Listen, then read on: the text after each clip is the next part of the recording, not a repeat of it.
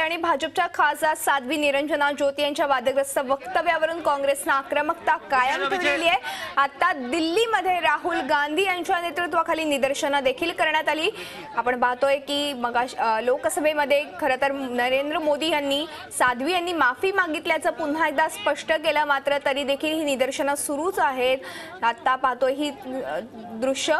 आणि आपण ह्या संदर्भात अधिक माहिती घेणार आहोत. आमचे दिल्लीचे प्रतिनिधी रा- रामराजे शिंदे यांच्याकडून. रामराजे आपण बघतोय की साध्वी निरंजना ज्योती यांनी वादग्रस्त वक्तव्य केलं आणि त्याच्यावरून आता राहुल गांधी यांनी निदर्शनं केलेली आहेत. काय सध्याची तिथली परिस्थिती आहे? ही निदर्शनं सुरूच आहेत का?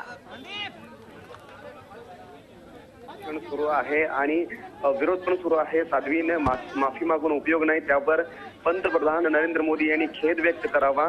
आणि साध्वी निरंजना ज्योती यांचं निलंबन करावं ही मागणी काँग्रेसनं लावून धरलेली आहे. काँग्रेसच्या मदतीला सर्व डावे पक्ष आलेले आहेत. काल शरद यादव यांनी सुद्धा आक्रमक पवित्र घेतला होता.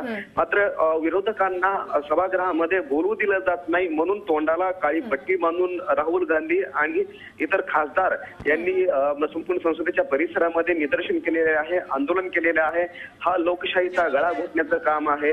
विरोधकांना आपली बाजू मांडण्याची वेळ दिली पाहिजे.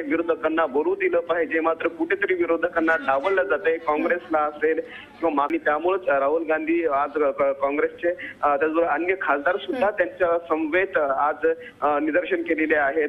सभागृहामध्ये गोंधळ झालेला आहे. राज्यसभेमध्ये गोंधळ झालेला आहे. आणि बारा वाजेपर्यंत पुन्हा एकदा राज्यसभा तहकूब करण्यात आलेली आहे. जनतेच्या कामासाठी संसद बोलवले जाते. लोकसभा राज्यसभा नक्कीच. थोडक्यात रामराजे विरोधकांना बोलू दिलं पाहिजे. हीच भूमिका खरं तर काँग्रेसने निमित्तानं मांडलेली आहे. धन्यवाद रामराजे. या संपूर्ण माहितीबद्दल आपण बघतोय. की साध्वी निरंजना ज्योती यांनी वादग्रस्त वक्तव्य केलं आणि त्याच्यावरून आता राहुल गांधी यांनी निदर्शनं सुरू केलेली आहेत. झी चोवीस तास. रहा एक पाऊल पुढे.